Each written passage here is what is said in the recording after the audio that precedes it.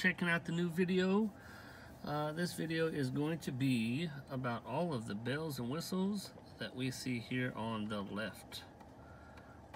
So we have on the left hand side of the Honda 2018 Sport uh, uh, digital display here on the left and an analog display on the right. Um, so we will uh, talk about all of the items here and then the second part of the video we'll talk about the display um, all the options that you have in the touchscreen um, and when I say second half of the video that might actually be a second video altogether depending on how long this video goes. Um, so tachometer settings. As you can see this one excuse me I have the tachometer uh, listed. Um, and you can change it from units right there we go. So tachometer is listed and now we have fuel and range. So fuel and range is uh, obviously how, how many miles projected you can get on the gas that you have in your tank. The average uh, miles per gallon um, currently is 23.5 I just filled it up. I went 25 miles. Um, and so the trip obviously is 25 miles there at the bottom and B is 1782.3 uh, so you'll see when I change the trip from A to B the average fuel changes. So 23.5 on trip A 37.6 on trip B. Um, and that also shows on the uh, touchscreen display and I'll go over that in a little bit. So let's go back to home uh, speed and time uh, obviously as you can see I changed trip A and trip B so my average speed for the 25 miles is 14 miles an hour for an hour and 52 minutes elapsed time um, and the 1500 uh, or 17 trip B is the average speed 31 miles an hour um, I don't know if that's right and then the elapsed time is 99 hours and 59 minutes. I don't think that's correct either. Um, obviously, I can go 1,700 miles in a lot less than 99 hours. Uh, okay, so I'm not sure why what that is. So audio, obviously audio. Um, so you can press the little button on your steering wheel and you can change the source from AM, FM, USB, so whichever you want to drive your um, stereo. Phone, obviously, uh, favorites, calls, um, and items like that. You can see um, traffic signs. Traffic signs are cool, but they are kind of odd, and they don't necessarily work 100%. But there's a camera on on the on the car that reads um, that indicates the street signs. So those street signs would end up displaying here. So if it was 35 miles an hour, you would see 35 uh, regular street sign like you see on the side of the road. So you'll see 35, 45, 70, whatever it may be. So that'll display there. It'll also display up here um, when you're driving as well.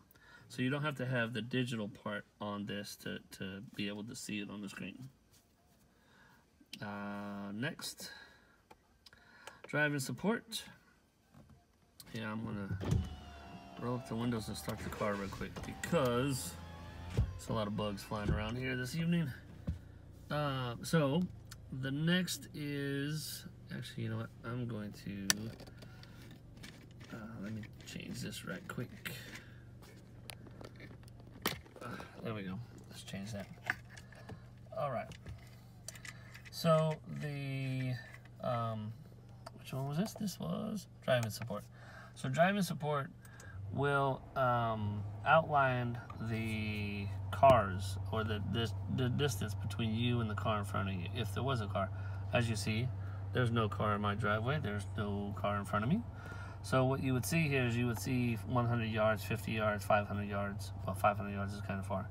Uh, but you'll see, and it'll give you a little image of a, of a outline of a car, but it'll tell you how far that car is from you. If you really need to know, um, I really never have it on there, um, but I'm not sure the value of that. Uh, attention, uh, driver attention level. So this monitors the driver's uh, behavior to a certain degree. Are they swerving a little bit? Are they, is the person not necessarily paying attention based on the, the road, the way the car is driving, and it'll give you a nice little signal that says, you might need to pull over and take a rest. Uh, and I'll put an image of what that looks like uh, here on the screen as well. Uh, so that's kind of funny. When the first time it popped up, I, I got a chuckle out of it. Maintenance. This will tell you what you need to do. Um, so my oil life, as you can see, is 40%. And right below the oil life, it says B23. So you can look up on any Google search or any um, Honda site to find out what B23 means. I know what it means, but obviously there's a whole bunch of other different codes on what it means relative to the maintenance you need to perform on your car. So I will just keep on moving. Uh, safety support, this is to turn on the front crash um, mitigation system and the lane uh, departure warnings. So obviously if I click the little, if I, uh, I can turn it on and off. So road departure mitigation and front. So everything's turned off. Obviously, I do not want them turned off, so I will turn them back on. But that is how you do it. Now, and last but not least, warnings. Warnings, this would be uh, anything from fasten your seatbelt to uh, doors open, trunk still open, things of that nature. Obviously, it probably does a whole host of other things, but uh, my car is still fairly new, and I haven't necessarily put, um, haven't seen a whole lot of warnings pop up, but it does have to do with just being able to operate the car. Now, um, so that is everything from the analog side. I mean the digital side, my apologies. And I put it back on range and fuel. So I always have this displayed um, along with the tachometer. And you can turn the tachometer off by coming over here to this little bad boy. So I will um, show you the tachometer and I'll come over here to settings and I will turn um, so you'll see under settings you'll see oh settings right there. Settings display vehicle. So we'll go to vehicle and you'll see meter settings lighting settings door window driver assist setup um, maintenance info. So all these are settings that you can change. So we will click on I'm going to do meter setup uh, adjust outside temperature display, adjust alarm volume, configure instrument panel, uh, fuel efficiency, backlight, trip A, trip B, tachometer, there it is. So tachometer, you'll see it says on, we will turn it off, we'll hit save. But before we do that, watch this. Bam, gone. So, obviously for me, I will turn it back on bam, it's there. So, um, a lot of these uh, functions here control, obviously, like I talked about, uh, speed in units. You can do miles per hour or kilometers. We will leave it as miles per hour, of course. Hit the little back button there. Um, obviously, we're not going to reset. Fuel efficiency, backlight, on or off. I have no idea what this is, but let's hit off just for giggles. I don't know what that did. I'm looking at the display over here. Let's turn it back on. See if it does anything. Hmm, I did not see it do anything. So, a lot of features over here. Configure instrument panel, uh, tachometer, fuel and range. So, all of these, so as you can see, they're all check marked over here. So all of these uh, are the ones that show up here in the home screen. Oh. Oh, you know, I can't go into home while I have this open. Let's hit done. Now, there we go. So as we're trying to make adjustments over here in the configure instrument panel, it won't let you view it. So all of these here are displayed over there. Uh, let's go back. Adjust alarm volume. High, medium. Oh, it's on low. We will leave it at that. Adjust outside temperature display. So you'll see. Um, select adjust outside temperature display. So we'll say, yep, leave it at zero. We'll leave all that the way it came, no changes there. Language settings, selections, we'll leave that as English, of course. Um, lighting setup. So this is pretty cool.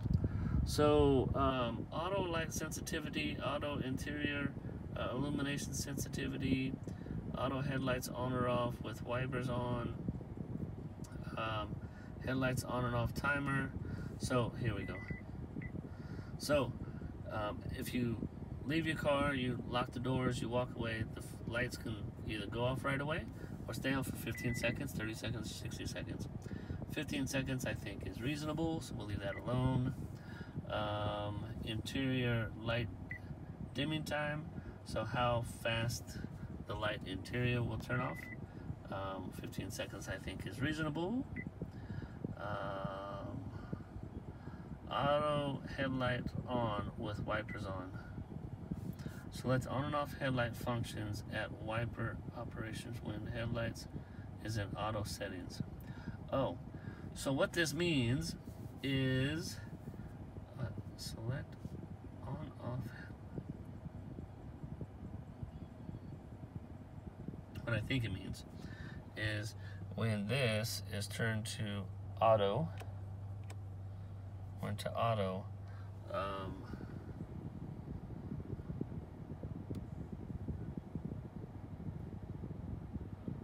somehow to do with the wipers. Auto headlights, auto. I really don't know. Hmm. Time to Google that one. All right. Um, next. Um, interior or auto interior sensitivity. So this is medium. So very minimal. So this will control how bright those lights are. So we'll say medium. We'll say minimum. Turn it on. Oh, that's not it. I don't think. All right, that's that one. Uh, so we'll do that again. We'll go maximum, hit save, turn the light off, turn it back on. Huh. I don't think that's really doing much to my car. No, it really doesn't. Maybe that's on a different model. I'm not sure, but definitely did not do anything to my lights uh, auto light sensitivity, um, medium low. So this is the auto lights when you have your car turned or headlights turned to auto right there. Um, it will, um, how sensitive it is as it gets dusk and turns on automatically. So we'll turn that back. We'll go back here. Um, door and window setup. So this is pretty cool too. Uh, auto lock doors uh, with vehicle speed. So you can turn off to where it doesn't lock the doors automatically. You can turn off on vehicle speed or shift from park. So immediately shift from park, doors lock. Or I want to say 20 miles an hour or 15 miles an hour, the doors lock. So you can manually set that. Key and remote unlock mode. This is pretty cool. Driver door only or all doors. So if you click the unlock button, you can control which doors it unlocks right away. Now it will obviously unlock all doors if you press it twice. Um, keyless lock answer back.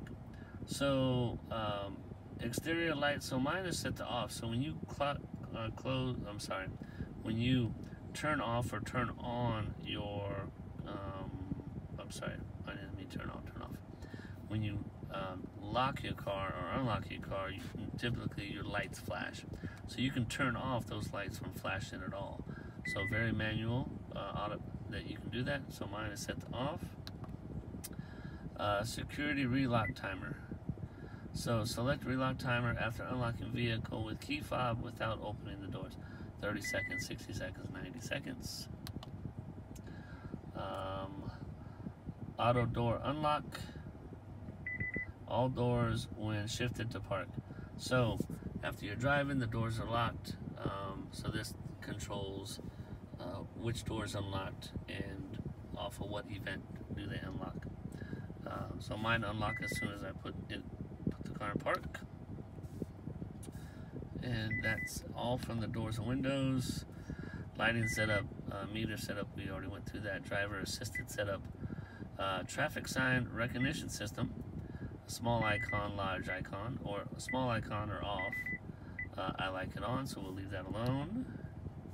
Forward collision warning distance, normal, short, long, so you can set at what point it uh, the car slows down or, or attempts to stop uh, if some there some object or another car or something's in front of you. Uh, ACC forward vehicle uh, detect beeping. So uh, as your let's see, turn on and off audible. Oh, so this will. Um, so this will warn you. It will um, speak. Say, I forget what it says. I had it on when I first bought the car, but as you can see, I've turned it off because it was. I don't say it was kind of annoying, but um, I didn't really need it. So it will talk to you. Lane keep assist. So this will actually, when you have your uh, lane keep assist activated, and I'll go over that here in a minute. Um, this will actually alert you um, if it doesn't uh, detect the lines. Um, road departure mitigation system. So this is uh, road departure mitigation system. Uh, warning only, wide, narrow, normal.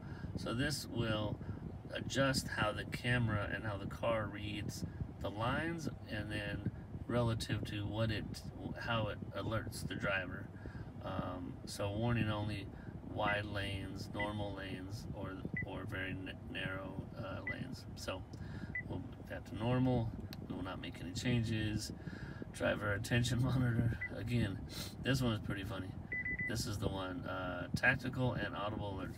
So if you need to take a break the little um, coffee cup that was on the uh, digital display on the dash on, on the displays over here um, it will give you a, a, coffee cup and it will um, alert you. Um, so it'll I believe if I'm not mistaken it will vibrate the steering wheel. Um, so this will be vibration only. This will be tactical which will be displayed there and vibrate the steering wheel and that's the driver keeps. So TPMS calibration, this is basically if you uh, got a warning that says your tire pressure is low um, and you went and filled it up, this would be to reset, recalibrate all of the, um, the tire pressure so the warning light would go away. Uh, and that is it for vehicle settings. Um, system, language, date and time, touch panel sensitivity, uh, system volumes, configure instrument panel, security accessibility, about uh, factory data reset, uh, detail information. So, um, connections, how, um, let's see, do I have anything? I don't think we have. So there's some, I don't know, bird family? Interesting. Uh, there's uh, the Wi-Fi's that have been connected to the car display. So you can set the the brightness to everything. We will not be changing those settings. Um, so it's very manual and very uh, customizable. Um, sound. So you can change the the fade the treble the bass all of that good stuff.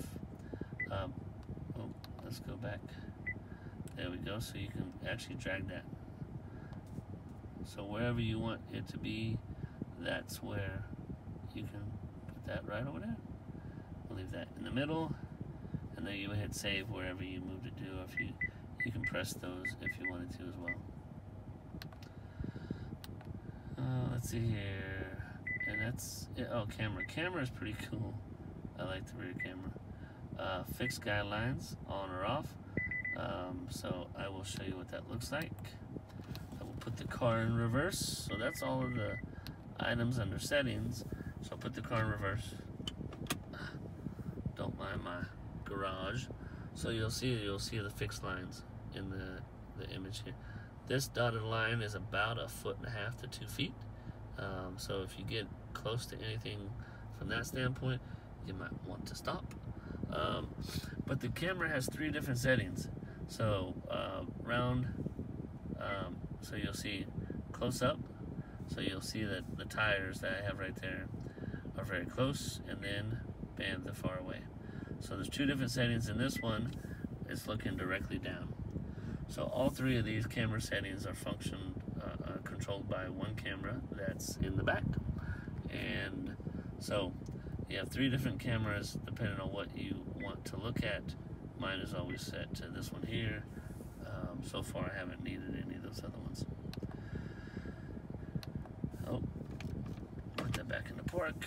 Um, so you have uh, trip calculator. This one's pretty cool. So here's your trip A.